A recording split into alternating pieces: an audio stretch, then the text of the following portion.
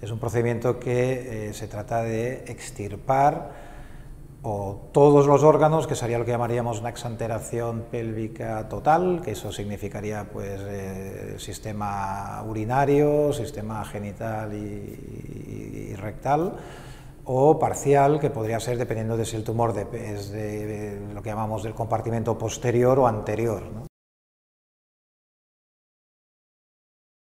Se puede beneficiar de esta técnica, pues lo que podríamos llamar o tumores primarios, que serían como decíamos, de origen colorectal, ginecológico urológico, o eh, situaciones de recaída, es decir, pacientes que ya han sido intervenidos previamente de un tumor en la pelvis, de cualquier de estos orígenes, y que eh, presenta pues de nuevo una recaída.